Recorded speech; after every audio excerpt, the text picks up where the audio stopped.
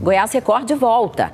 E a Prefeitura de Aparecida chega a gastar 5 milhões de reais em mutirões de limpeza. Se as pessoas tivessem consciência e não sujassem a cidade, esse dinheiro podia ser gasto em educação, saúde, segurança.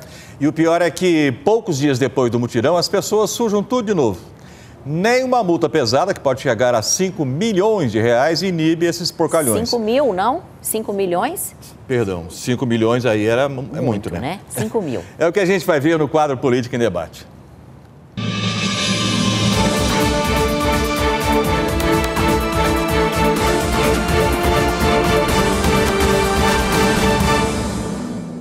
É, é isso, foi isso lixo, dois homens descarregam a carretinha num lote vazio em Aparecida, para revolta do vizinho. O cara vem lá da casa e jogar lixo aqui, ó. Aqui, aqui é o lixão, ó. Os dois homens não sabem se sabem, não ligam, mas jogar lixo desse jeito é uma infração que pode dar multa de 700 a 5 mil reais.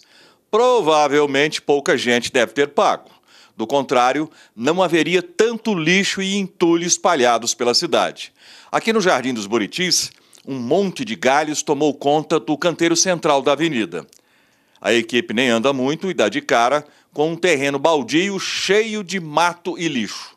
E segundo o Silvio, que mora do lado, o problema é velho. Eu mesmo já mandei máquina passar aqui umas três vezes já. É gente jogando cachorro morto aí. Meu vizinho aqui, coitado dele, que limpa lá, ó. Lá. A Prefeitura de Aparecida diz que gasta de 4 a 5 milhões de reais em mutirões de limpeza. É como enxugar gelo. Daqui a pouco está tudo sujo outra vez. O sistema de limpeza da cidade mantém um serviço catatreco para recolher, de graça, móveis velhos que não servem mais. O dono desse imóvel não se deu ao trabalho de apenas ligar. Largou o trambolho no meio da calçada. E a Secretaria do Meio Ambiente de Aparecida ainda precisa vigiar gente sem noção que taca fogo em tudo, inclusive no mato, que joga lixo nos córregos, gente que tira areia desses córregos e mata os outros de raiva com som alto, de carros principalmente. Combater tudo isso é tarefa muito complicada porque exige educação. Aquela que se aprende em casa, a famosa educação de berço parente muito próxima do respeito, a mesma que diz que seu direito termina quando começa o do outro. Mas, para o nosso desalento, ainda tem gente que não sabe nada disso ou finge que não sabe. E não só em Aparecida. Praticamente em qualquer grande cidade brasileira, é desse modelo.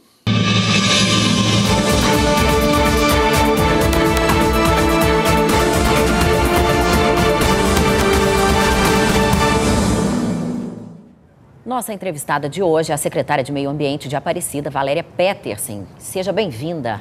Obrigada, Fernanda, Carlos. É um prazer estarmos aqui. Boa, Boa noite, noite, obrigado por ter vindo.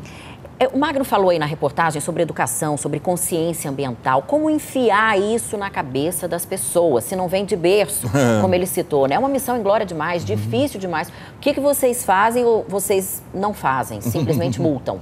Não, na verdade, a secretaria ela tem um departamento de educação ambiental e há um trabalho com a Secretaria de Educação. Nós trabalhamos agora, estamos trabalhando com as mulheres também, para que haja uma conscientização melhor de que meio ambiente, vida, sustentabilidade tem a ver com cuidar hoje para que nós possamos ter uma cidade melhor. Se eu quero uma cidade limpa, eu quero uma cidade bonita, ela começa pela minha atitude. Então, quando eu descarto lá o, o resíduo sólido da minha construção civil, eu estou fazendo uma reforma na minha casa, uma caçamba custa 200 250 reais a caçamba cheia. É tão mais barato que uma multa de 5 mil reais uhum. pelo descarte. Então, é esse tipo de conscientização que nós precisamos. Quando eu, eu passo uma aguinha na minha caixa de leite, ela não contamina, ela vai durar mais, a minha garrafa PET sustenta a cooperativa de mulheres. Então, isso tudo é muito importante, mas começa muito por esse cuidado e pela educação. Essa educação é, é, é, é aplicada em escolas, é com a criançada, porque acho que adulto é só multa mesmo, né? nós aprendemos, Carlos, assim, uma coisa interessante que a sinalização de trânsito nos ensinou, que os filhos quase que obrigavam os pais a usar o cinto, a parar no sinal vermelho, que era um momento de transição. Assim também a educação. Nós trabalhamos muito com as crianças nas escolas, nos projetos sociais, damos o braço muito a projetos sociais, para que haja essa conscientização lá da criança, porque a criança às vezes obriga o pai a fazer a separação, ela, ela leva material separado às vezes para a escola, nós estamos preparando agora para colocarmos ecopontos dentro das nossas unidades escolares, preparando ecopontos para a nossa cidade. O que é o ecoponto? O ecoponto é um espaço onde tem as caçambas, nós vamos preparando agora os ecopontos, a Secretaria de Desenvolvimento Urbano coloca a, as grandes caçambas e aquela pessoa que vai descartar um, um sofá, um armário, uma pequena quantidade de material, aquele carroceiro que em vez de jogar na área pública, que ele ganhou o dinheiro para fazer um descarte, ele joga na área pública, ele vai poder deixar nesse ponto de coleta, que aí o caminhão da prefeitura passa e recolhe duas, três vezes na semana e leva para o local devido, que é o aterro sanitário ou para a cooperativa, que nós temos duas cooperativas que precisam do material para poder sobreviver. Inclusive, vocês estão colocando esses ecopontos na Serra das Areias, que é um local de muito descarte de lixo, né? É capaz das pessoas virem o ecoponto ali e colocar o lixo do lado. É, e é, é por isso que a gente fala da questão ambiental e da educação. Quando eu digo, olha, eu vou jogar só uma garrafinha aqui. Imagina, nós temos 600 mil habitantes. Imagina 600 mil garrafinhas sendo jogadas, porque eu achei que era só a minha. Então, quando a pessoa diz, não, mas eu vou jogar uma sacolinha, é só a minha. Nós estamos falando de 600 mil sacolinhas. Então, o volume é muito grande. E aí, os ecopontos, nós estamos priorizando agora a quarta área, que é na região do Cruzeiro do Sul, já está sendo preparado agora o primeiro ecoponto. Na região do Jardim Marinês, na antiga ET, que por muitos anos foi uma queixa da comunidade, logo, logo nós teremos um ecoponto. Então, são esses espaços que a cidade prepara para que as pessoas possam fazer esse descarte e ela, quando ela contrata uma caçamba também, Fernando, isso é muito importante dizer, ele leva direto, quando ele vai pegar essa caçamba, a empresa, ela direto, leva direto para o aterro sanitário. Então, nós temos que ter esse cuidado, especialmente com o resíduo da construção civil, que o volume é muito alto. E mais uma coisa, a prefeitura tem o catatreco que se ligar na Secretaria de Desenvolvimento Urbano, ou quando ele passa em baixa quantidade, ele vai coletar. Em alta quantidade, é de obrigação do município. Esse telefone não é o mesmo do, ligar para reclamar de barulho, não, né? Porque não. essa reclamação de barulho na cidade é, é, muito um, recorrente é um problema aqui. muito recorrente. As pessoas dizem que não conseguem, muitas vezes, falar nesse telefone. Esse dia nós estamos com dois dias com problema mesmo com os ramais, inclusive o DTI está lá tentando nos ajudar, porque o volume de ligações é muito grande.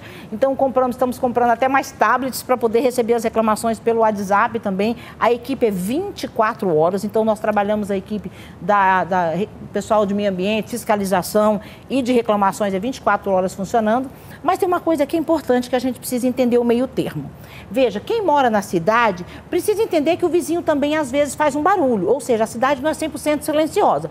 Também, como quem vive na cidade, precisa entender que não dá para me ter um som é, alto demais, os carros automotivos eu gosto, mas eu tenho um vizinho que tem criança, tem um idoso e que ele não suporta o som. Então, nem tanto o céu, nem tanto o inferno. Eu preciso entender que eu vivo na cidade, mas eu preciso respeitar. De e novo, nós... a questão da educação de berço, é. que resolveria tudo. Bate de novo na é, educação. o seu direito termina quando começa o do outro. está fazendo barulho demais, você vai incomodar alguém, né? E aí tem uma coisa importante. Nós conversamos com o proprietário de uma grande área de eventos para que ele nos ceda uma vez no mês um dia para que nós possamos levar esse pessoal do som automotivo para lá. Você, querem ligar o som? Vamos deixar naquele espaço. Um dia no mês que não atrapalhe, que é numa área mais longe, mais rural. Mas no restante, se ele ligar na cidade, certamente a sua multa pode chegar a 5 mil reais. Lembre-se, seu vizinho tem criança, tem idoso, às vezes uma pessoa que até tem um tumor cerebral. É verdade. É, e Bem entra, alertado, né? E, e, entra a bendita educação mesmo, não tem, não tem e outro remédio. você querendo aplicar a multa de 5 milhões, né? 5 milhões, 5 milhões não, não resolve, mil. não. Se bem que eles mereciam, né? tá Obrigada, bom. viu, secretário? secretário? Muito obrigado Obrigada pela sua pela oportunidade. Aqui. E vamos cuidar melhor da nossa cidade. O Goiás Record termina aqui. Você fica agora com o Jornal da Record. Uma boa noite para você. Boa noite. Até amanhã. Tchau, tchau.